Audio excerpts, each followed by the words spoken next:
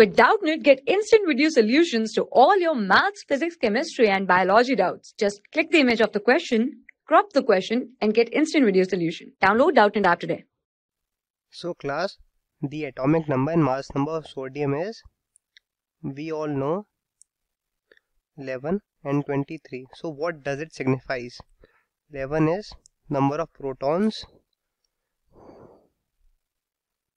number of protons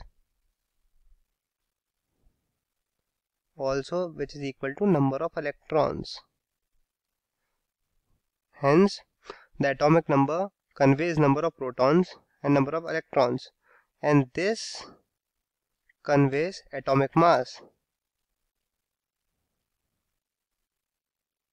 which is number of protons plus number of neutrons.